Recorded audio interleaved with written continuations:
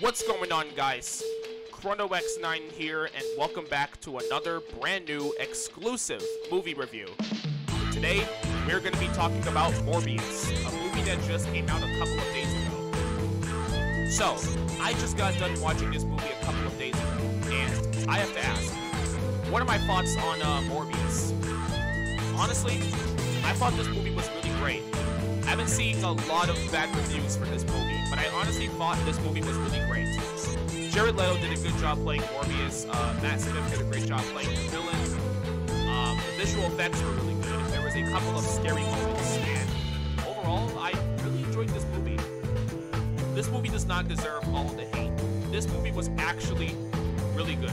If you haven't seen Morbius yet, please give it a watch. I think you might like it.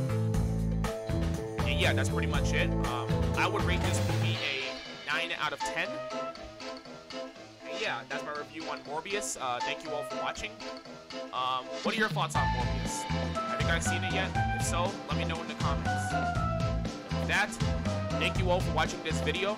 Like, comment, and subscribe, and I will see you guys later. See ya!